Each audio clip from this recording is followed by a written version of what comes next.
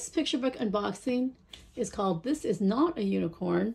It's written by Barry Timms, illustrated by Ged Adamson, published by Nosy Crow, with a QR code on the back to get a um, audiobook version of this for free.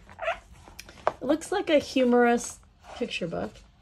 Here we have this young colt, I guess, who is not a unicorn. Um, maybe he is a unicorn? Or maybe he just wants to be a unicorn?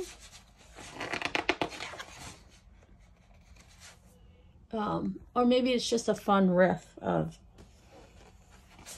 a unicorn and all their powers. A poricon, an oricon, a pop-up in the doricon, so it's rhyming.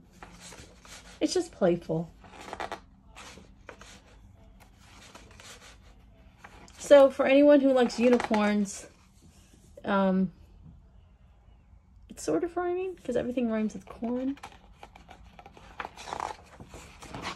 I don't know. A unicorn. It just looks like a playful picture book about a unicorn who isn't really a unicorn.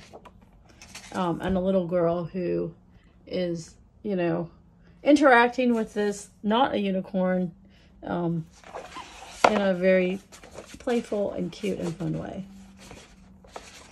Um, so, thank you to Nosy Crow for sending me this book, and thank you for watching.